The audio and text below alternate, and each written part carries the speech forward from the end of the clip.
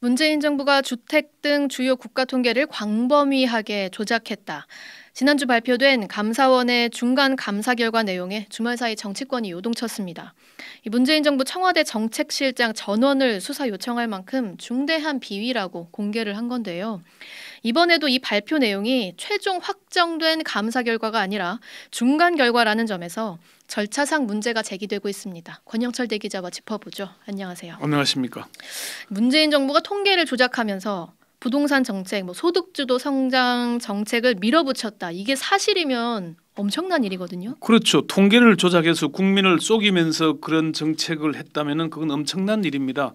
절대 있어서는 안 되는 일이죠. 네. 다만 감사원이 발표로 한 자료를 분석하면은 석연치 않은 대목들이 적지 않다는 비판이 나오고 있습니다. 석연치 않다. 예, 이런 엄청난 사실을 감사원 발표대로 믿어야 하는지 의문이 제기되고 있습니다. 어떤 의문입니까?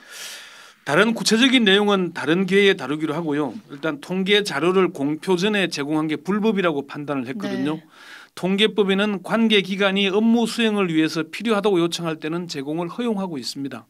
청와대 차원의 통계 조작 요구나 압박이 있었는지 여부는 감사원이 검찰에 수사 요청을 했으니까 누가 어떻게 왜 통계 조작을 요구하고 실행했는지 아니면은 감사원이 부풀려서 발표한 것인지는 구체적으로 드러날 걸로 예상을 합니다. 예, 예. 좀 지켜보기로 하고요. 네.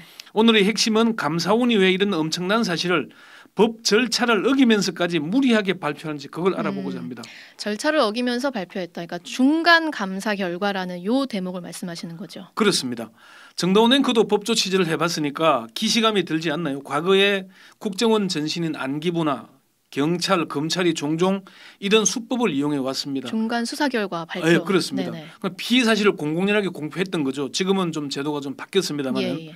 윤석열 정부 들어 감사원이 민감한 사안, 특히 전임 정부의 정책에 대한 감사에 나설 때마다 감사원은 감사위원회를 거치지 않고 검찰에 수사 요청하는 방식으로 중간 감사 결과를 발표해 왔거든요. 수사 요청한 고위공직자와 그들의 위법 사실을 담은 간단한 내용이 아니라 검찰의 공소장에 버금가는 정도의 구체적인 혐의 내용을 담고 있습니다. 네. 그렇지만 감사원법에는 분명히 감사원은 감사 결과 범죄 혐의가 있다고 인정할 때는 수사기관에 고발하여야 한다. 이게 이렇게 명시하고 있고요. 감사원 사무처리 규칙에는 감사원법 35조에 따른 고발은 감사위원회의 의결을 거쳐야 한다고 규정을 하고 음. 있습니다. 원칙적으로 고발하려면 감사위원회 의결을 거쳐야 한다. 이게 원칙이고 네. 예외도 있긴 한 거죠.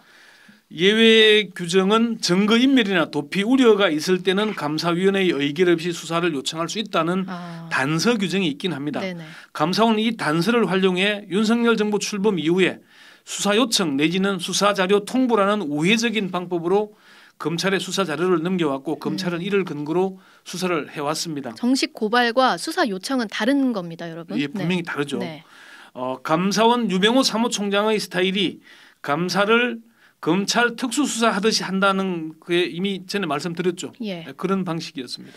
그러니까 원칙이 있는데 네. 검찰에서 감사원 명의로 고발을 하는 게 원칙인데 이거 지금 우회적인 방법으로 계속 수사 요청을 하는 거는 분명히 문제가 있다 이런 문제 제기하시는 거죠. 그게 불법이라는 겁니다. 불법이다. 감사 네. 결과는 감사위원회에서 의결되거나 아니면 간담회에서 감사위원들의 동의를 받은 뒤에 공개해야 합니다. 그 전에 공개하는 것은 불법이라고 합니다. 그렇고 수사 요청을 하려면 뭐 증거인멸, 도피 우려 이런 단서가 또 맞아야 되고요. 그렇죠. 서해 공무원 피격 사건을 예로 들어보겠습니다. 감사원은 서훈 전 안보실장 등 20명을 수사 요청을 했죠. 예. 그런데 검찰이 수사를 해서 재판에 회부된 건 서 전 실장 등 4명뿐입니다. 아, 아직 1심 재판이 진행 중인데 검찰은 감사원에서 검찰로 넘긴 자료를 재판부에도 제출하지 않고 있고 피고인들의 요청에도 주지 않고 있다고 합니다. 네. 그런데 이 서해 사건은 지난 6월에서야 감사위원회에 부의됐고 다음 달 초에 검- 감사위원회에서 감사 결과를 확정하게 됩니다. 아, 아직도 감사 결과가 확정이 안 된 겁니까? 그럼? 그렇습니다. 아. 감사원은 1년 전인 지난해 9월에 이미 중간 감사 결과를 발표하면서 20명을 수사 요청했는데 감사원의 정식 절차는 이제서야 마무리 단계에 있는 겁니다. 아, 서해 사건 정말 1년 전 네. 얘기인데 아직도 감사원에선 확정이 안 됐다는 건 몰랐네요. 그런데 윤석열 정부에서 제일 중요시하는 게 이런 부분의 절차에 있어서의 어떤 법치잖아요. 예. 지금 상황이 좀 잘 이해가 안 갑니다. 이렇게 하면 안 되는 거죠. 한 중견 법조인은 감사원의 감사를 재판에 비유하자면은 감사원 사무처의 감사는 유죄 여부를 판단하는 자료조사 단계 라고 할 수 있다.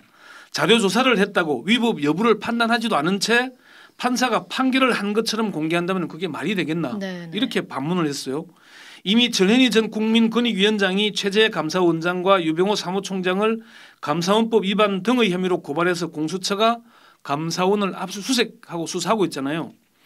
전 전 위원장에 대해서도 아홉 건의 비리 혐의를 두고 묵과할 수 없는 중대 범죄라고 했지만은 감사위원회에서는 단 한 건의 개인 비위도 이 잘못을 확정되지 않았어요. 네네. 감사위원회의 동의도 못 받는 감사 결과가 재판에서 유죄로 확정될 가능성이 얼마나 음, 있겠습니까? 예. 서해 공무원 피격 사건도 감사원의 중간 감사 결과 발표를 보면은 이 대진 씨는 자진 월북했다고 볼 수 있는 당시 지난 정부의 월북 판단 근거를 일일이 반박했거든요. 예, 예. 근데 월북이 아닌 다른 이유도 입증하지 못했습니다. 서해 공무원 사건에 대한 감사원의 감사가 정치 감사라는 비판을 받아왔는데 아직 1심 재판이 진행 중이어서 어떤 결론이 내려질지는 좀더 지켜봐야 되겠고요. 네. 마찬가지로 문재인 정부 청와대가 주도해서 국가의 각종 통계를 조작했다는 감사원의 발표도 사실이라면 엄청난 거잖아요. 그렇지만 감사원이 감사를 통해 그런 엄청난 사실을 밝혀냈다면은 법이 정한 절차에 따라 처리하면 되지 않겠습니까? 그렇죠. 그런데 굳이 무리하게 위법 논란을 일으키면서까지 중간 발표를 할 이유가 뭔지 납득이 잘안 어, 됩니다. 그러니까 이렇게 빨리 갑자기 중간 결과를 서해 네. 사건도 마찬가지고 지금에서 확정될 수 있는데 왜 이렇게 무리하게 빨리 진행하는 걸까요?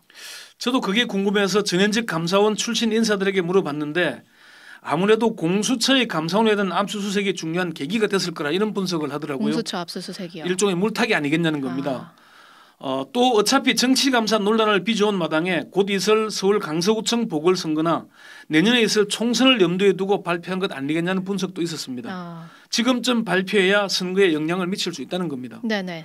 검찰이 수사에 착수하고 기소하고 재판에 가는 절차를 고려하면은 지금쯤 발표하는 게 시기로 적절했을 음. 거라는 그런 분석인 거죠. 예 예. 감사원의 주인이 누구일까요? 우리 법으로 계속 알아봤었는데 예. 감사위원. 그렇죠. 네. 헌법과 감사원법에서는 감사원은 감사원장을 포함한 7명의 감사위원으로 구성한다고 명시돼 있습니다. 감사원의 주인은 감사위원이라는 겁니다. 사무처는 보조기관인 겁니다. 별도의 국가기관이 아닌 거예요. 네네. 뭐 경찰이나 검찰처럼. 그런데도 감사원이 감사위원회 패싱 논란을 일으키면서 계속 무리수를 두는 건 믿는 곳이 있기 때문 아니겠냐 그런 분석이 나옵니다. 믿는 곳이 있기 때문이다. 네, 유의미한 발언으로 마치겠습니다. 권영철 대기자였습니다.